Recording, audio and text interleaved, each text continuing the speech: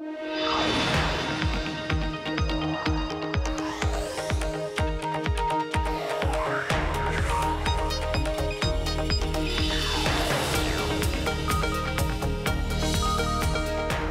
Emily Chang. This is Bloomberg Technology. Coming up, the tech entrepreneur with big plans to be Maryland's next governor. Alec Ross joins us to discuss the growing divide between tech and politics and reacts to the latest Trump firestorm.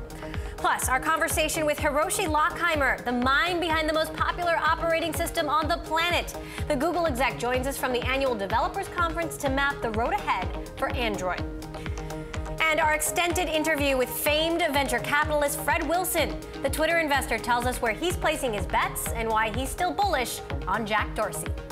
First, to our lead. U.S. stocks turn in their worst performance this year. This after a memo surfaced that President Trump asked former FBI Director James Comey to drop the investigation into former National Security Advisor Michael Flynn.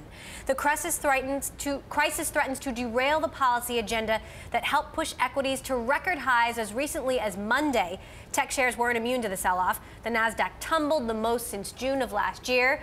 And for more, we're joined now by our Bloomberg News stocks reporter, Abigail Doolittle. So, Abigail, talk about some of the biggest tech laggards in particular. Well, first of all, Emily, what a sell off. As you mentioned, the worst sell off for the major averages since September of last year, the worst of the year on this shift in sentiment. But relative to the NASDAQ, as you mentioned, underperforming both the Dow and the S&P 500 by about 80 basis points, down about 2.6% on the day. Some of the biggest drags are the biggest tech names, including Apple, Microsoft, Facebook, and Amazon.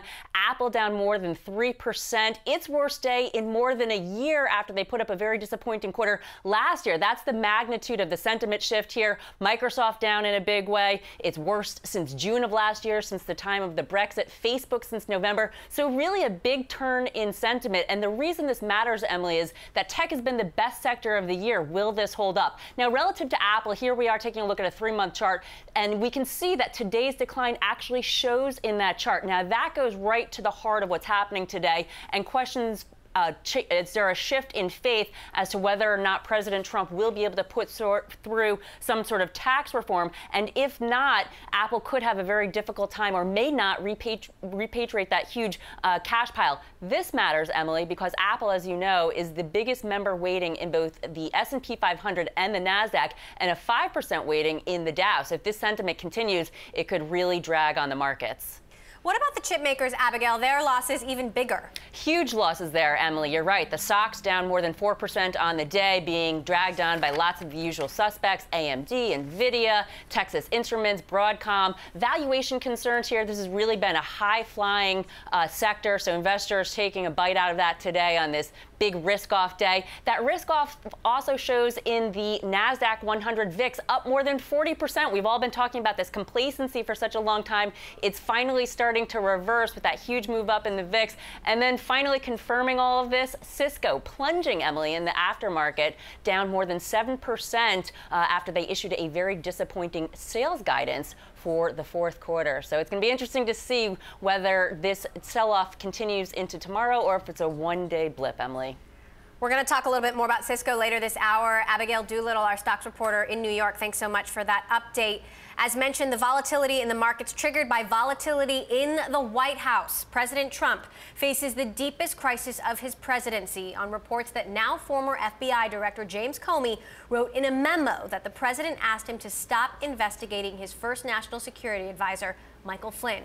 For more now, we're joined by Alec Ross in New York, a best New York, a best-selling author, former advisor to Secretary Hillary Clinton at the State Department, who has just announced he is running for governor in Maryland on the Democratic ticket. Alec, thank you so much for joining us. Let's get right to it. Do you think what Trump has done, allegedly, is grounds for impeachment? Impeachment. I do. I, I think that if he is if he is seeking to shut down an ongoing investigation by the FBI. It's just it's a demonstration of his lack of fitness for the office. He's already proven incapable of basically the executive functions of the presidency.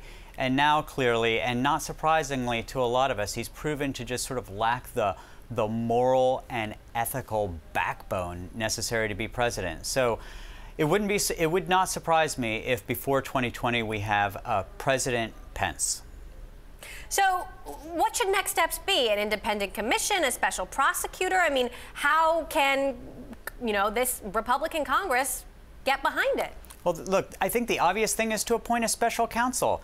And there are a few uh, Republican members of Congress who are suggesting as such. But I think that unfortunately, too many of these folks are sort of wet finger politicians. They lick their finger, hold it up, see which way the wind is blowing, and they're afraid of their of their pro-Trump base. So a lot of them, I think, have forgotten why they came to Washington in the first place. Uh, and I think that they're just focused on their reelection. They're just focused on their popularity. And so we'll see how many dignified men and women do come forward from both parties and insist on a special counsel. Now, Trump is the reason that you decided to run. Why? You know, I think that talent is everywhere and opportunity is not. And the simple fact of the matter is, in places like coal country, where I grew up, people overwhelmingly voted for Donald Trump because they felt so disconnected from our politics and from our politicians.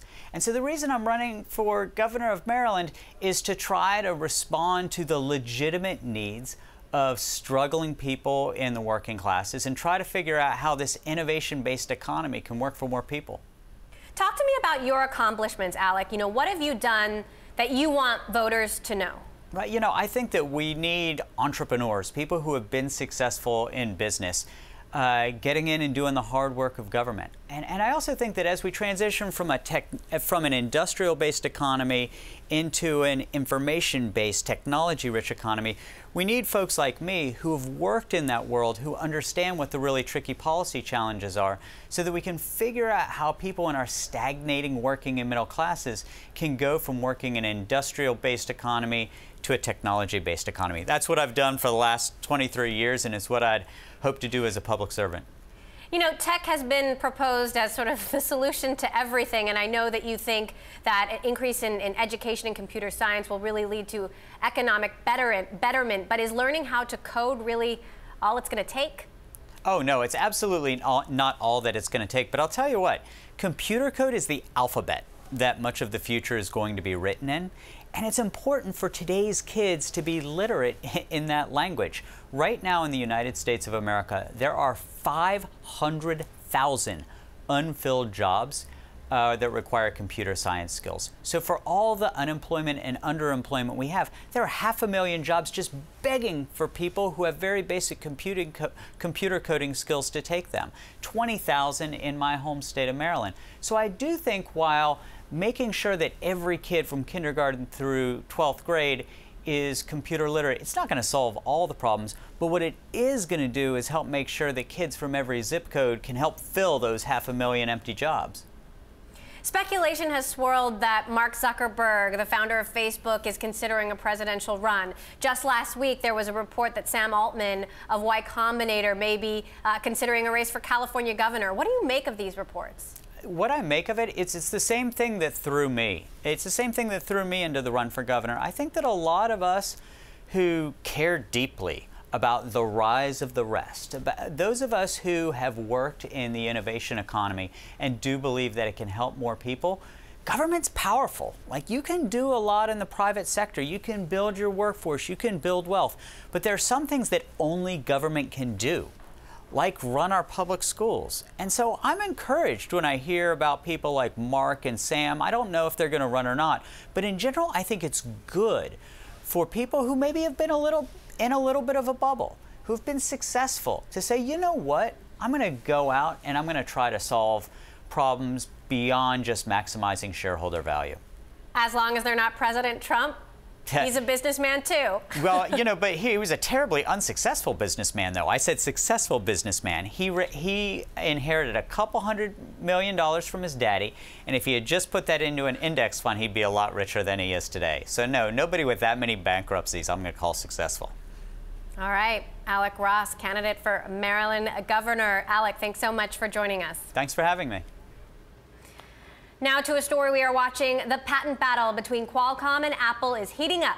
Now the chip company has sued assemblers of the iPhone for allegedly not paying patent royalties. Among those, Qualcomm has sued Foxconn and Pegatron. Unlike other smartphone companies, Apple doesn't have a direct license with Qualcomm. Instead, it pays contractors to make its phone, and part of that money is used to cover royalties. Coming up, the annual Google I.O. conference kicks off in Mountain View, California. We will hear from the man behind the company's Android operations, Hiroshi Lockheimer, next. This is Bloomberg.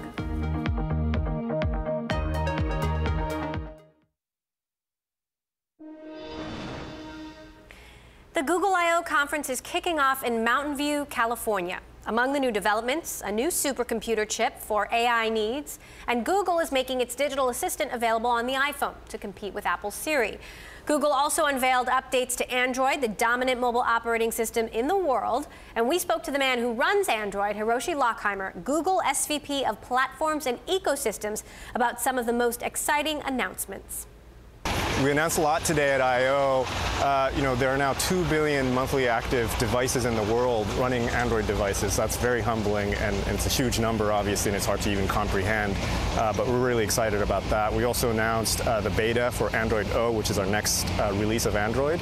Uh, and also, we announced a new configuration of Android, starting with Android O, that we call Android Go, uh, which is really aimed at devices in emerging markets, you know, devices that have one gigabyte of RAM or less, and really making that that experience great for those users. Uh, so those are some of the examples of, of the, a lot of things that we announced today. What progress do you think you've made over the last year with Android N? So we announced Android N uh, last year and, and, launched it in the fall. Uh, a number of devices have launched with Android N, and many devices are now upgrading to Android N. Uh, there's a lot of good stuff in there, and the, and the rollout continues. So with Android O, what sort of new security features are you integrating? What are you doing to combat fragmentation? Well, around fragmentation, there's a lot that we're doing. It's, it's something that we've been uh, working with the industry on for many years now. Uh, specifically, this year we announced uh, Project Treble, what we call Project Treble, uh, which is a re-architecting of the lower layers of Android. A, a, customer won't notice it, but for the industry, it's a big deal. We've completely redesigned the bottom part of Android that, that deals with the hardware to make it really easy for manufacturers and operators, the people who sell Android devices, to update these devices and, and really have uh, a, a sort of quicker turnaround times. And what about security? What new security precautions have you introduced? I mean, the world is weathering another global cyber attack. Yeah, so around security, we've been doing a lot uh, for many years now. Uh, one of the things we realized was a lot of what we've been doing has been behind the scenes. Um, uh, there's a lot of protections that we've put in place, obviously the architecture of Android to begin with, but also protections we put into place through Google Play. We actually scan all your apps, all apps in the world. We're scanning them all the time, but we realized no user of Android was aware that we were doing this. So we've now put uh, these systems sort of front and center for the users so they can see what we're doing uh, so that they can have a sense of security uh, and that actually reflects the real state of the world. We call that Google Play Protect, and that's something that we'll be rolling out very soon. Last year, you introduced something called Instant Apps, which lets users stream their apps via search. Uh, what kind of progress have you made there? We've been uh, in beta with Instant Apps uh, since last I.O. We've been working with many developers on this and getting their feedback and really improving the infrastructure for that. And actually, uh, starting this week, we're expanding that so that anyone, not just a beta, uh, any developer can now develop Instant Apps, uh, which really facilitates sort of making it easier for users to get their apps without having to go through the installation process. Now, Pixels, the new phones that Google has been making, reportedly haven't sold very well. How has that impacted Android? So Pixel is, a, is an Android phone developed by the hardware team within Google. Uh, you know, on the platform side, I work with everyone, all the manufacturers. So Samsung, I'm using a Samsung phone right now, for instance, LG, Huawei, you name them. Uh, and so, you know, really, we don't really comment on any particular device from an Android perspective. We're just happy to have more device manufacturers out there really targeting their user segments. And, and that's what makes Android great, is it's, it's really a scaled ecosystem across multiple partners. You've announced new uh, auto dashboard systems with Volvo and Audi. What is Android strategy in the car? Well, we have a number of uh, products available for the car. Uh, the first one we call projected mode, which basically enables a customer to take their Android phone, plug it into their car, uh, and, and have, the, uh, have the phone power the car's infotainment system. That's been available now for a while now. Uh, there's hundreds of car models out there that support this already. Uh, what Audi and Volvo announced is actually running Android itself in the car directly so that you don't need a phone anymore. Uh, and, and it's kind of a behind the scenes thing, right? It's, it's how the car manufacturers are making their cars. They happen to be using Android, which makes it possible for Android developers to bring their apps and services easier into the car environment. We're expecting a big redesign of the iPhone from Apple later this year, and I'm curious, as the head of Android, how do you brace yourself for the iPhone revamps? It's an exciting time to be a consumer because there's just so much, so much going on, so many manufacturers working on interesting innovations, and so I think it's a good thing, you know, and, and it keeps the Android manufacturers on their toes, and it makes them work harder, makes us work harder. Uh, so I, I think it's great. Are you wearing an Android smartwatch? Because I'm curious what's holding Android back in wearables. I'm wearing an Android Wear watch right now. Uh, uh, a lot of progress there. We've announced a lot of fashion brands have also adopted Android Wear. We make, as you know, our, our platform available to anyone to build products on uh, products with, uh, and that's our strength. And, and we've we have a lot of partners now in the fashion industry as well as consumer electronics industry building Android Wear-based watches. Hiroshi Lockheimer there, Google SVP of Platforms and Ecosystems. We will have more coverage from Google I.O. later in the hour. We will speak with Scott Huffman, Google Vice President of Engineering. And coming up, shifting from hardware to software may be more challenging than expected for Cisco, out with a disappointing fourth quarter sales forecast. We'll break down the numbers next. This is Bloomberg.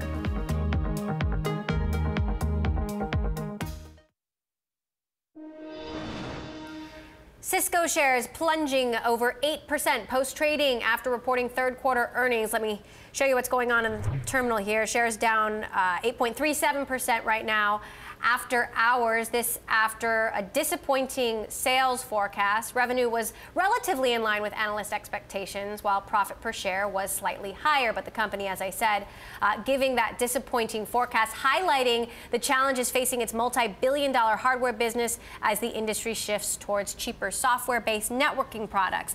Joining us now from New York, Glenn O'Donnell, Forrester research analyst who covers the company. So, what do you make uh, uh of the progress or lack thereof on this transition from hardware to software, Glenn?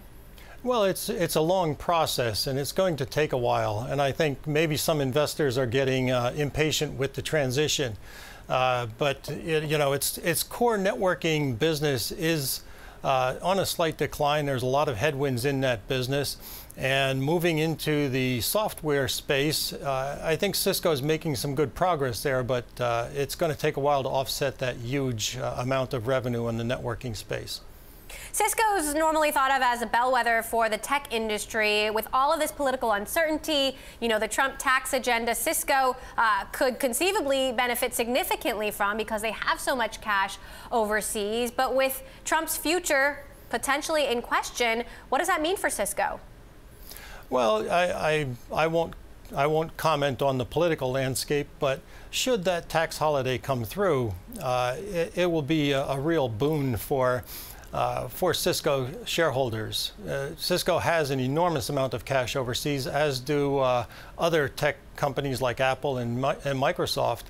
Uh, but you know, if they can bring that back, uh, they're going to use some of it for expansion through M&A, but a lot of that's going back to the shareholders. And I think we'll see that across the tech industry. What sort of M&A are you expecting?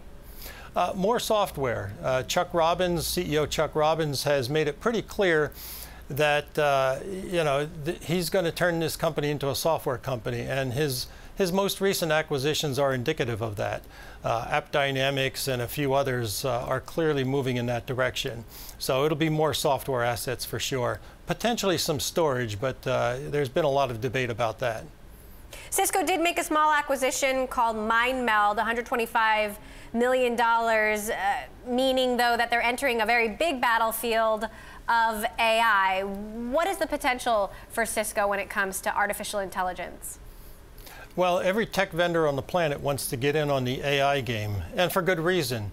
Uh, you know, the, the algorithms and the technology that goes into these various, uh, these various things that people like to call artificial intelligence, uh, you know, these things are the future because it gives you the ability to make sense out of enormous amounts of data, and we are swimming in data, so we have to try to make heads or tails out of the, the, the, the needles in the haystack. And uh, you know, it gives a tech company some stickiness in the sense that you know, for most of this technology, it's pretty easy to reverse engineer it and to compete with a, uh, a product that's like the one that you're copying. Uh, and there's a constant game of leapfrog that just keeps going on.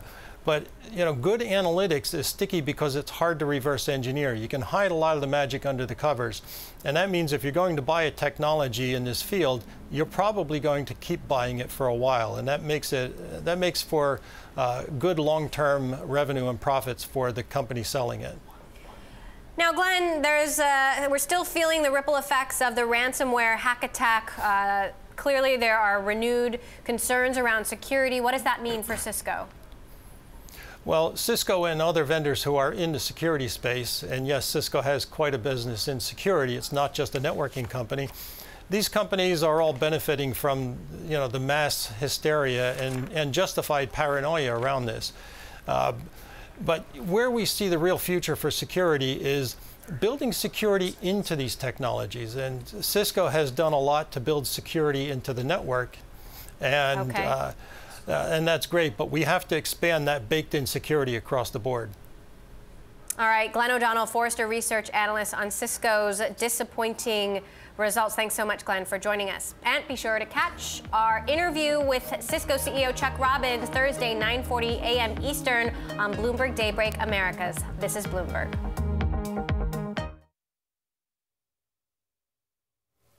I'm Elisa Parenti in Washington, and you're watching Bloomberg Technology. Let's start with a check of your first word news. Russia's President Vladimir Putin blasted U.S. politicians today for whipping up what he's calling, quote, anti Russian sentiment.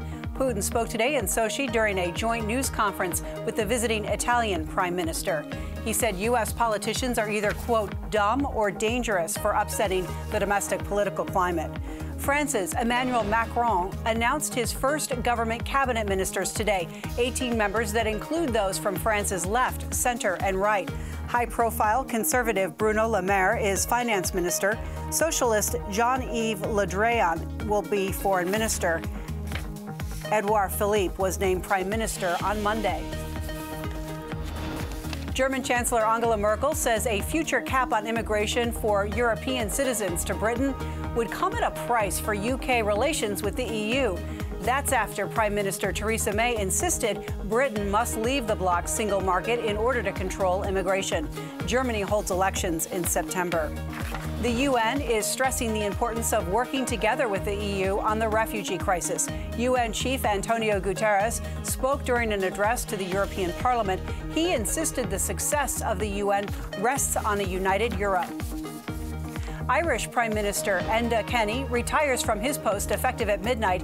He says he will continue as party leader in an acting capacity until a successor is elected. He also asked the party to expedite the process, process and have it concluded by close of business on Friday, June 2nd. Global news 24 hours a day, powered by more than 2,600 journalists and analysts in more than 120 countries. I'm Elisa Parenti, and this is Bloomberg. It's just after 5:30 p.m. Wednesday here in Washington, 7:30 Thursday morning now in Sydney. We are joined by Bloomberg's Paul Allen with a look at the markets. Paul, good morning.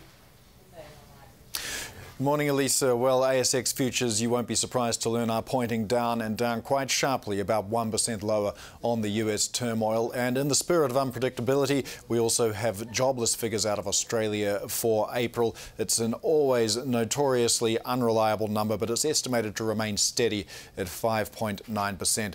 Uh, Japanese futures are also pointing lower this morning. We are waiting on GDP numbers for the first quarter out of Japan, expecting to see half a percent growth uh, building on the one-third percent growth that we saw in the prior quarter. Uh, watch out for Tencent as well, uh, opening in Hong Kong today. Revenue of $7.2 billion there uh, for the quarter on record, record sales and profit. And Chinese property prices for April also out. I'm Paul Allen in Sydney. More from Bloomberg Technology next.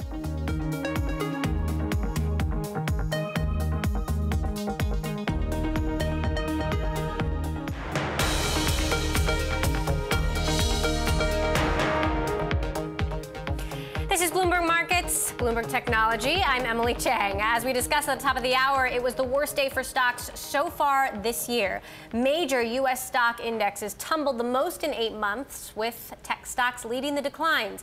And volatility is back in a big way. The VIX skyrocketed more than 30%, its biggest jump since the Brexit vote last year. The corporate finance system is broken. That's what Union Square Ventures managing partner Fred Wilson had to say about early stage investing at the Techonomy conference on Wednesday.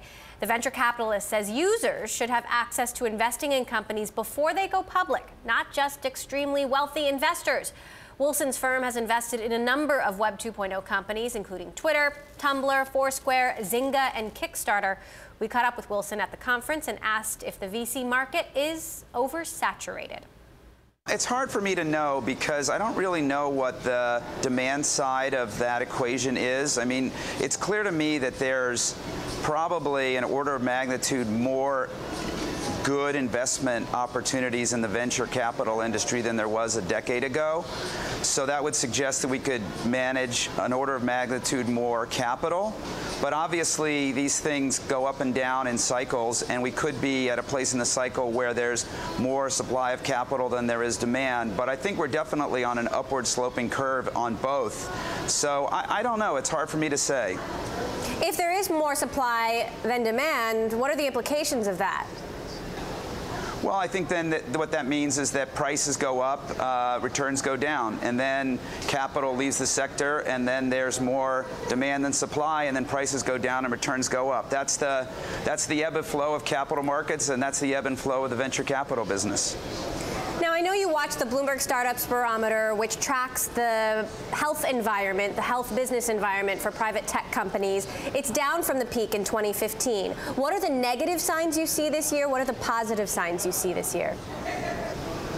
Well, I mean, I think that there's a lot of uh, there's a lot of um, I'd say sobriety in, uh, in a number of, of, sectors that have been very frothy in the past. Um, but we have new sectors that are now frothy, and they, you know, and so, uh, and they will have to go through their own uh, hype cycle, if you will. Twitter is one of your most prominent investments. Jack Dorsey, the CEO, just announced he's bringing back Biz Stone, one of the original co-founders. How likely is it that Twitter can reaccelerate user growth, reaccelerate revenue growth, and sustain that over the long term so that Twitter is someday significantly bigger than it is today? I'm very uh, bullish on Twitter. I should disclose that I personally own a lot of Twitter stock, uh, so I just want all those viewers out there to know that. Um, I, I think Twitter's a unique company. The, the, the, the, content you can get on Twitter is unlike uh, the content you can get anywhere else on the internet, uh, and that is only becoming more and more the case, uh, particularly real-time breaking news. Uh, I think anybody who wants to consume real-time breaking news, there's no better place to do it than on Twitter. and I love love that the band is getting put back together. You know, Biz coming back is, is you know, when Jack came back, that was the beginning of, I think, a lot of good things for Twitter. Um, and now with Biz coming back as well, uh, wouldn't, I mean, it just, when I saw the news yesterday, I did had no idea what was happening. When I saw the news yesterday, it just made me smile. I'm so happy about it. Snap stock plunged after its first earnings report. Facebook has been blatantly copying Snap features and deploying them across all of their products. What's your prognosis for Snapchat?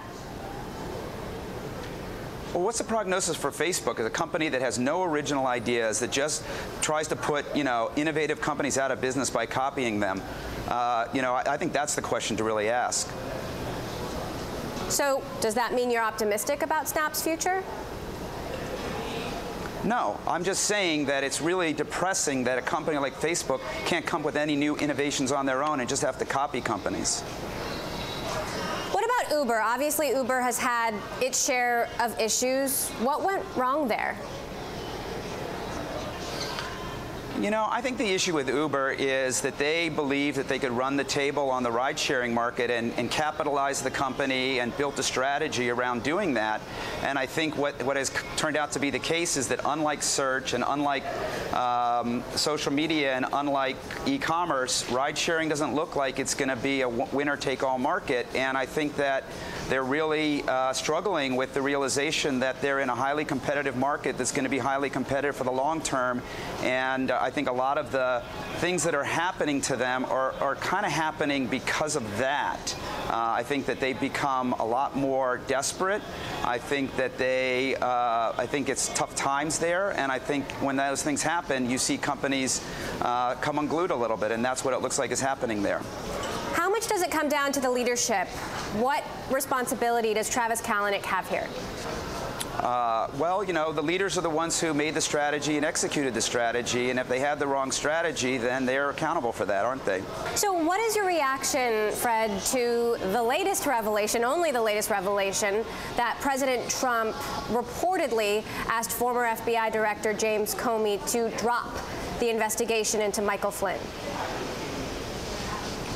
You know, I don't really follow this stuff. When Trump got elected, I, I uh, stopped following uh, anything to do with Trump. I mute the term on Twitter. Uh, I'm not really interested in the president, um, and I, am not really following any of this. I, I'm, I'm paying attention to things that matter to me, and that's not one of them. As long as Trump remains in office, how does it impact investing? How does it impact startups? Is it is the political climate changing anything that you're doing at USV? No, not at all. All right. So you clearly care about social issues. I've seen that you've done matching campaigns for Planned Parenthood and the ACLU. You're blogging about immigration. Diversity is a huge topic right now, diversity in VC especially. USV doesn't have any women partners.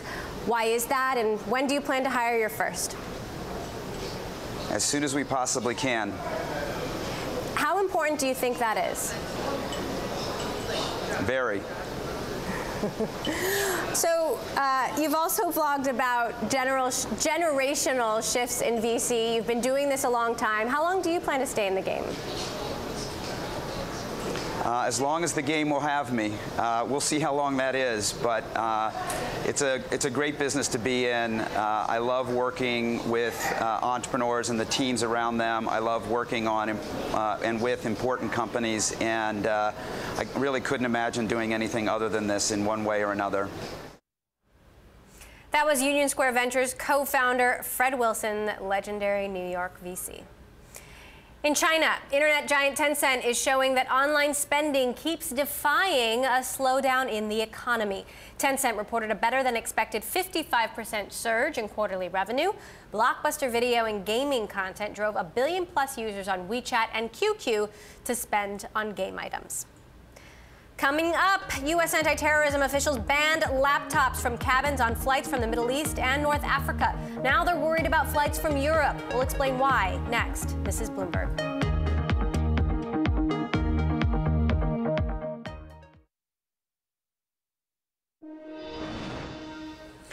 In today's funding board, CrowdStrike has raised $100 million in its latest funding round. The funding, led by investor Accel, and values the company at more than $1 billion.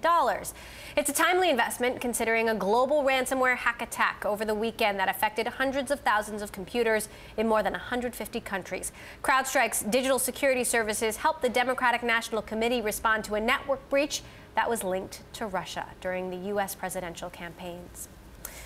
And another national security issue this week in focus U.S. anti terrorism officials met Wednesday in Brussels with their European counterparts to discuss a proposed expansion of a laptop ban in airline passenger cabins. For more on both stories, Bloomberg's Caroline Hyde joins us now live from London. Caroline?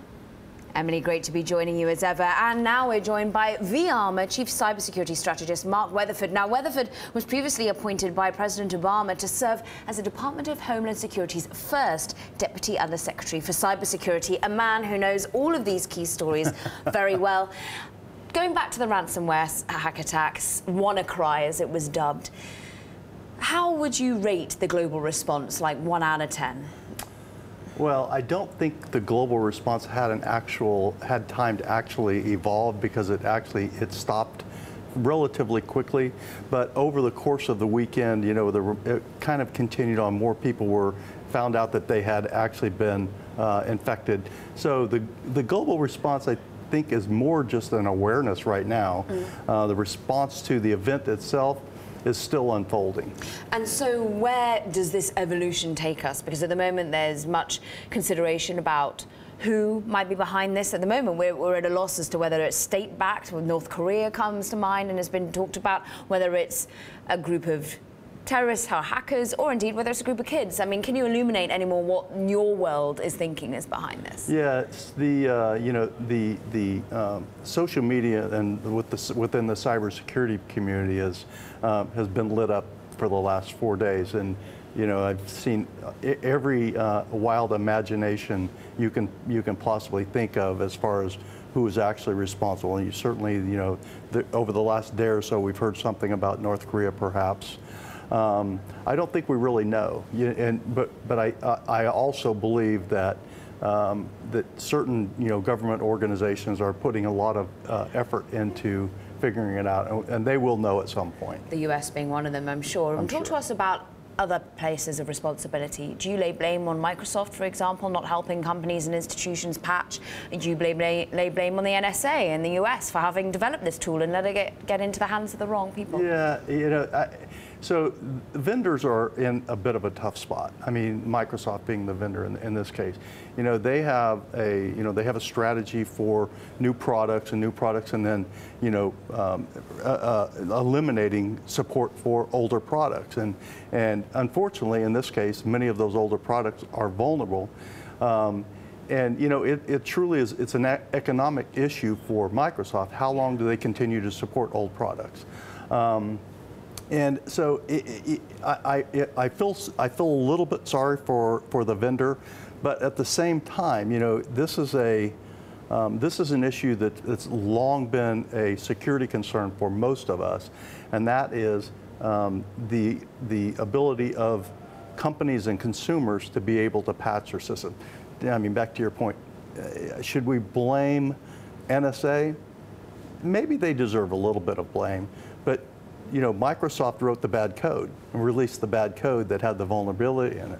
So it, you could, you know, you can make the case that if it wasn't NSA, it could have easily been someone else that, that discovered and, and exploited the vulnerability. Let's, let's talk more about tech being a weapon because the US clearly has some sort of intelligence it believes that laptops should not be carried on planes by people because it could create some sort of terrorist incident. It is banning them on planes from the Middle East. It now wants looking at extending it to Europe.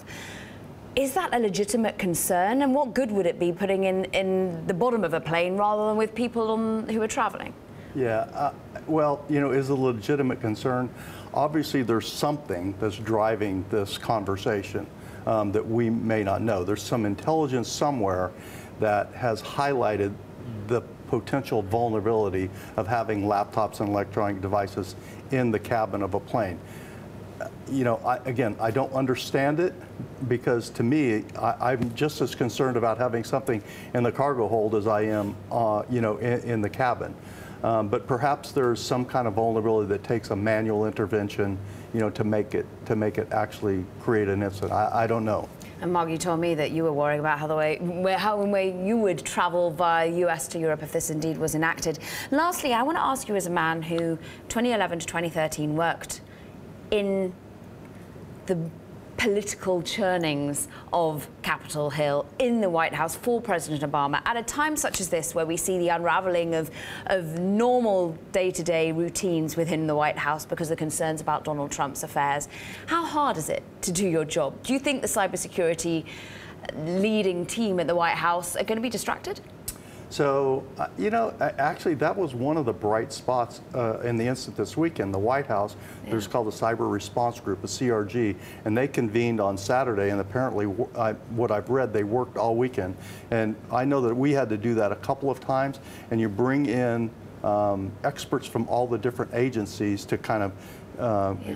get together and figure out what should be the response. I think, you know, one of the biggest factors, perhaps not in yeah. the White House, but within uh, some of the other agencies is they haven't appointed all of the people yet that are leading these organizations, especially around cybersecurity. Mark Weatherford, wish we had longer. We wish you well with your travels back to the United States. That was Mark Weatherford, Chief Cybersecurity Strategist at vArmour. Emily, I'm going to be sending things back to you in San Francisco. All right, Caroline, thanks so much. Still ahead, it is all about artificial intelligence at this year's Google Developer Conference. We will grill Google's Vice President of Engineering on the company's new artificial intelligence supercomputer chip next. This is Bloomberg.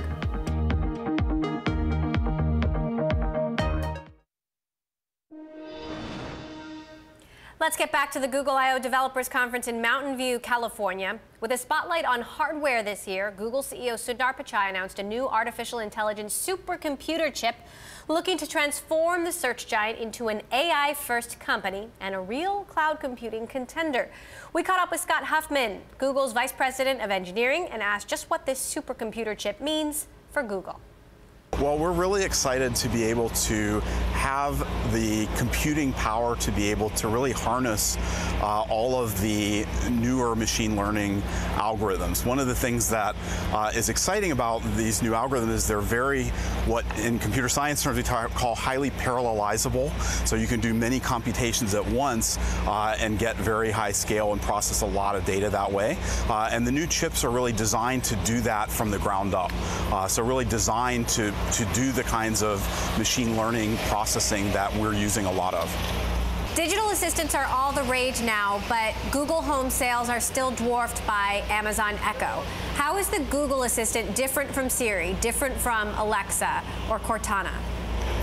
So one thing that we're very excited about with the Google Assistant is the ability to actually go across all the different devices and contexts in your life. Um, so as you go from your uh, house to your car and your commute to out and about on your day, uh, we want the same assistant to really be available to help you in all those different places. Uh, and so today we're really excited to deploy the assistant out to all the iPhones uh, and make it available to iPhone users in the US. Uh, and we're in the process of rolling out, of course, across all the Android phones, Google Home, Android Auto, Android TV, Android Wear. So really making that, that uh, assistant always available to you no matter what you're doing.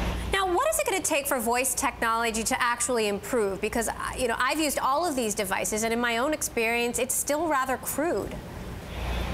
Well, so, uh, so we think we're making a lot of progress, uh, but one of the big things, and, and Sundar talked a little bit about it today, is really using uh, broad scale data and neural algorithms in order to, uh, to improve the technology. Uh, so we've been actually pretty significantly overhauling kind of all of our algorithms under the hood every couple years to take advantage of the new computing power that we have uh, and new and larger amounts of data. And every time that we do that, we see a pretty big jump uh, in improvement.